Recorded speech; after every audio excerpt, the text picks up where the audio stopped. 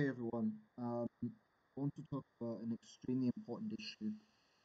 Extremely important, um, I believe one of the most important issues of our time, and that is media power and accountability. It directly directly relates to the issues I'm going to be discussing. Um, I've talked about this before, Donald Trump's uh, very rocky relations with the media.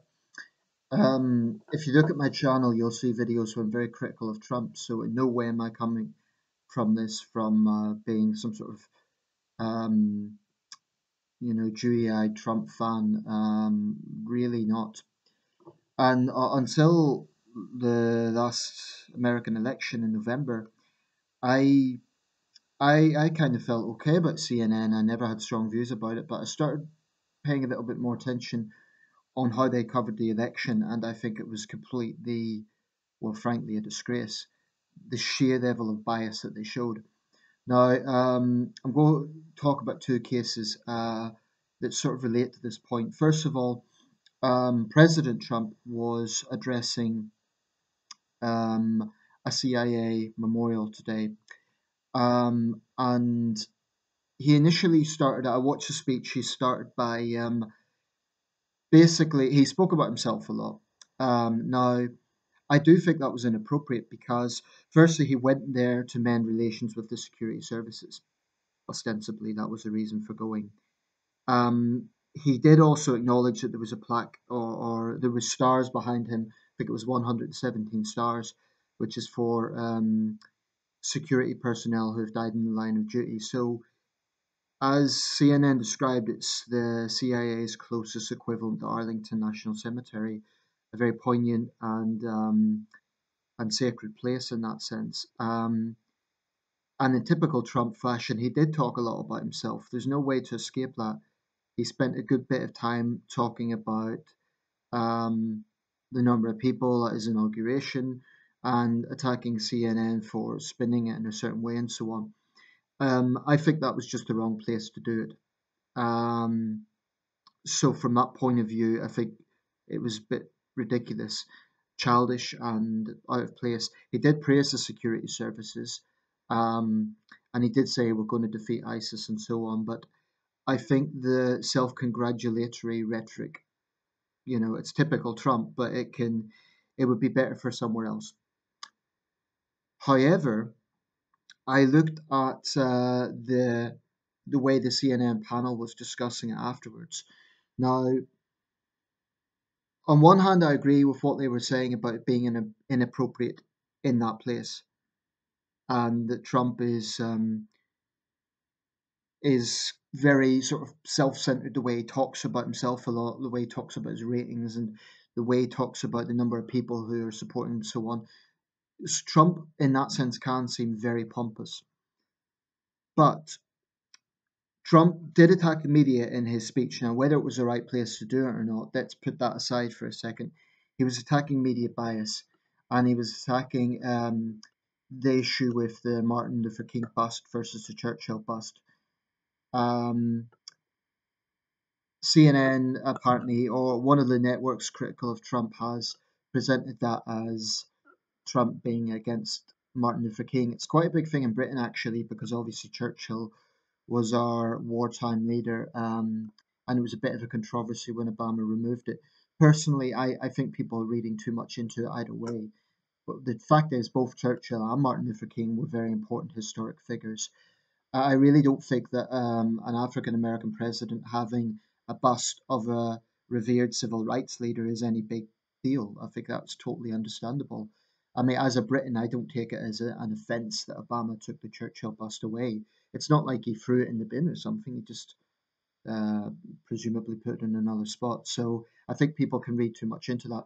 But anyway, the point Trump was making was they when, when Trump brought back the Churchill bust, there are some who are spinning that as being against Martin Luther King, which of course is absurd. Um, you know, presidents change things around all the time. It's not it's not that big a deal. Um, when a new president moves in, they always change some of the interior. I really don't think it's such a big deal. But there is a track record of CNN, especially the other networks, but especially CNN, trying to find an anti-Trump spin on absolutely everything. I'm not saying the bus story with CNN, but I'm just making the point that there is a track record of this now.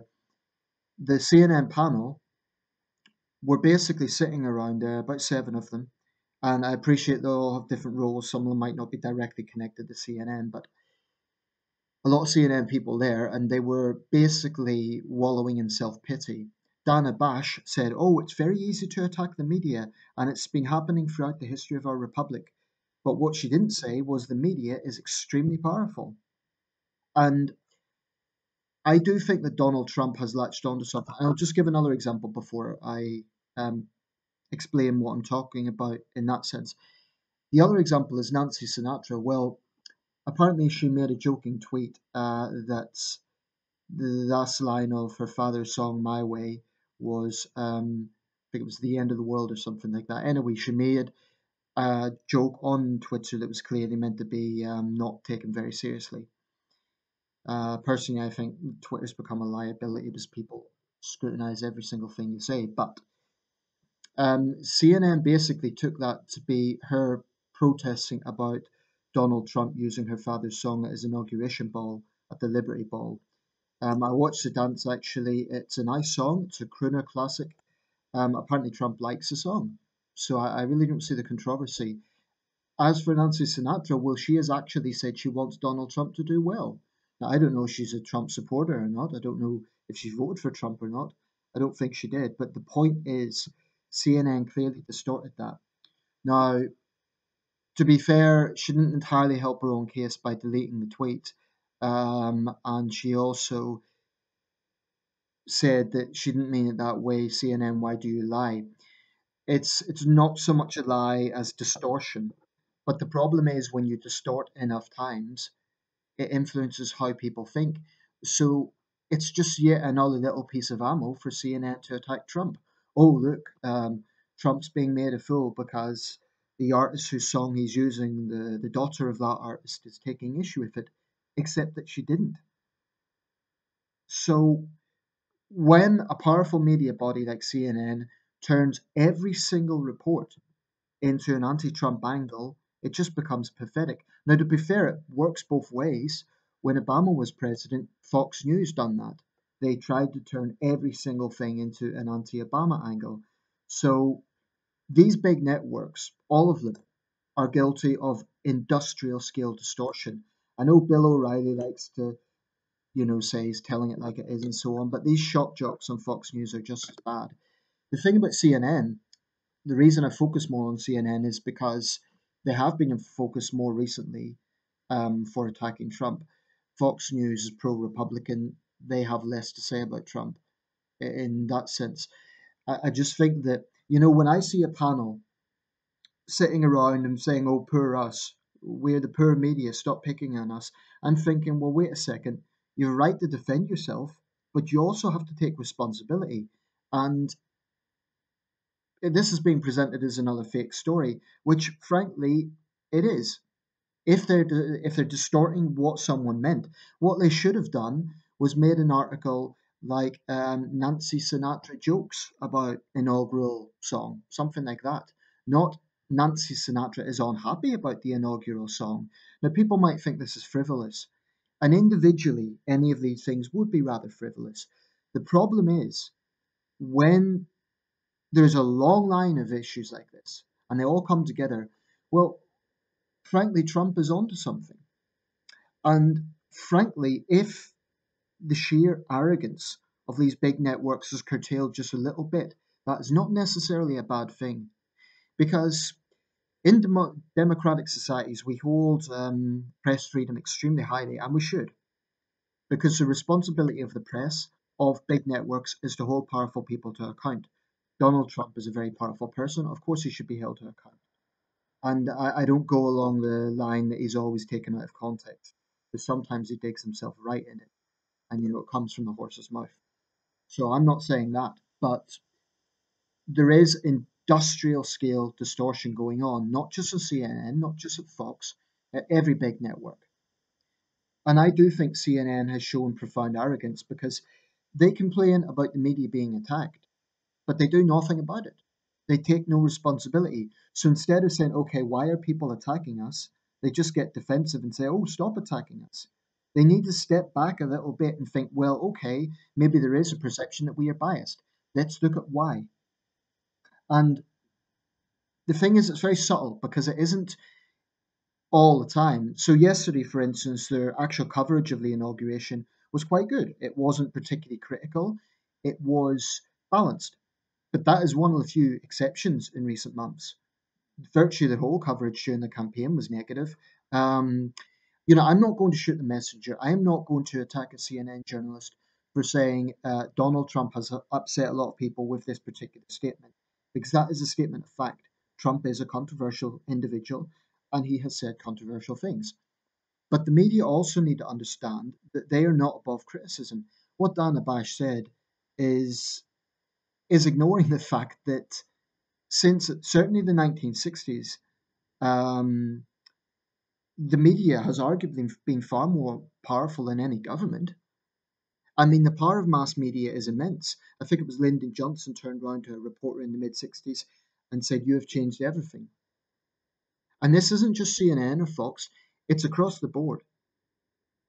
Because what editors do is they will take a sample of what someone has said and present that as the main theme. Now, I appreciate, let's say someone makes a long speech.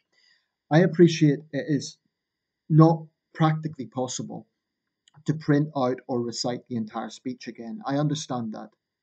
Actually, one of the best sources for doing that is the Times newspaper. The Times will actually print out an entire speech. And some people might say that's tedious. I give them credit for that because it means that they are they they are showing the whole source. Um, just to contrast the C- CNN with the BBC, the BBC has many, many faults, but at least the BBC replies to criticism. This is another big issue I take with CNN. You can go to their Facebook page and criticize them, and they won't delete it, but they never respond to it. Now, to me, that's arrogance. That's basically saying, oh, well, people are criticizing us, but we don't care. We're going to just do our own thing anyway. You can't complain about being criticized and then not respond to what the criticism is. Think about that. Eh, they are being criticized for bias, for fake stories, but they're not actually taking any responsibility to change people's mind. They're doing absolutely nothing. They're just showing arrogance. And I think it's because for a very long time they have been in a position of power. And now you have a president who's challenging that. Whether you like Trump or not, no one can say he's a stooge of the media it's sort of ironic. It's taken a reality TV star to do this. I mean, you know, the Trump of a few years ago in The Apprentice, I, I would have, well, I still see that Trump as obnoxious and, you know, nasty, unpleasant. But the power of the media is such, maybe it does take, frankly, an alpha male like Trump to just stick up two fingers to them and say, no, you know, you need to be challenged. You need to be called out. Now, Obama showed remarkable patience with the onslaught of attacks that he faced from Fox News. Uh, Trump isn't doing that. Does that mean Obama had tougher skin? Possibly. But it could also mean that Trump is rewriting the script and saying this has to change. Now, to those who believe that Trump is a dictator, they're going to they're going to be looking at this from the angle of Trump's trying to control the media. But I sort of look at it from the angle of, well, the media is is powerful. Arguably, there's a dictatorship of the media because they have the power to destroy someone in terms of reputation. They have that power. And for me, that's you can't get more powerful than that. I mean, it happens here in the UK too. Someone will make a statement about an issue, and then it happens all the time with politicians. Now, to be fair, some politicians will use that as an excuse. They'll say, "Oh, I was taken out of context," um, when they blatantly haven't been taken out of context because you can see a recording and that's exactly what they did say. So there are politicians who are liars as well, and they've been caught out, and they, they won't take responsibility for it. They'll just blame the media. So I'm not for a second saying everything is the fault of the media. What I am saying is the media is extremely powerful and they need to take some responsibility. and they need to be accountable because they will say it's our job to hold the powerful to account. My question is, well, okay, who holds the media to account? Who holds you to account? In the UK, we have something called Ofcom, which is a good concept because it's um, it's basically a media watchdog. It enables people if they feel that the media has portrayed them unfairly or if they feel that a program has been biased or whatever, people can complain to that. I'm not sure if there's any American equivalent, and I think it is desperate that there needs to be some sort of independent watchdog in the United States that keeps a track on what these people do because they, they they're in such a vaulted position that they've actually convinced themselves that they're the victims, and that's preposterous. So my message to CNN: you're not victims, and if you really think you are, well then respond to the criticism directly. Don't just whinge about it. Don't just say, "Oh, Trump's picking on us." Actually address the specific points and respond to criticism. Don't take this holier than thou attitude and sit there. I mean, those panels, I don't even watch them anymore because I just find them irritating. You have all these people who just sit there and basically cry about it and, and say, oh, we're the victims. And it's a case of journalists, and let's not forget these people are just journalists overstating their own importance. And yet they have become important because of the power of the media. And it shouldn't be that way. Journalists shouldn't be the story. But they have allowed themselves to become the story because of their vanity. So, summed up, absolutely Trump should be held to account for controversial things he says. Absolutely. Otherwise, you would have a dictatorship. But by the same token, the media has to be held to account because they are influential. People listen to this. People do form the views on what big networks say. That is extremely important.